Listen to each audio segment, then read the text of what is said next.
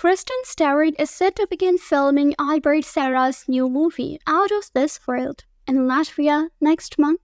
Production kicks off on June 3rd and wraps up on July 10. Stewart will lead this politically charged film, penned by Serra himself.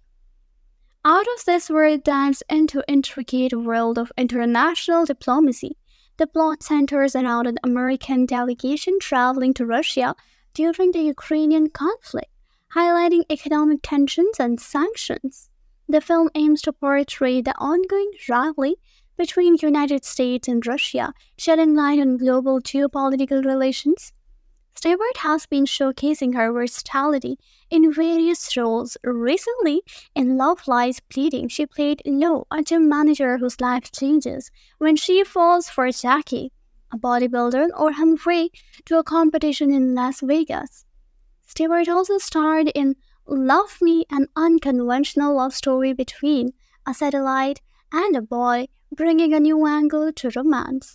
Additionally, she appeared in David Cronenberg's Crime of the Future, a science fiction horror film exploring human adaptation to synthetic environment and the resulting transformation and mutation.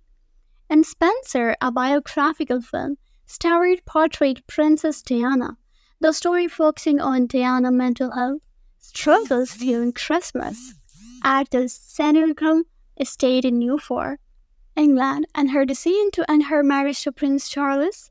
The film provides insight into her personal challenges and the pressure of royal life.